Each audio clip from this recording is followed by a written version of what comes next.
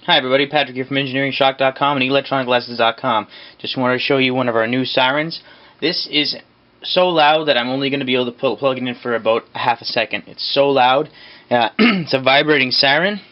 Requires 12 volts. There's a black wire and a red wire at the bottom here, currently connected to my power supply. When I turn on power, it's going to screech. Now, before I plug it in, let me just show it to you on the side. Uh, there is an adjustable platform that it sits on. It can go up or down. Sturdy. Uh, sturdy build. Uh, does not come with mounting hardware, but you just need to a few screws to mount this to any uh, any project. And you'll be able to move it up and down.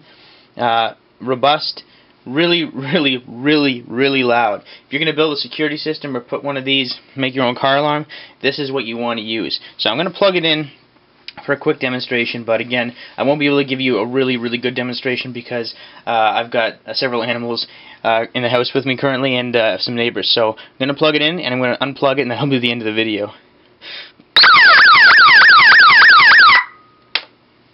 So you get the picture. It's very loud and obnoxious, which is really what it's for, what any siren is for. Now we've got tons of sirens in our store, but this is uh, certainly the more, more one of the more robust ones. Very, very loud. 12 volts.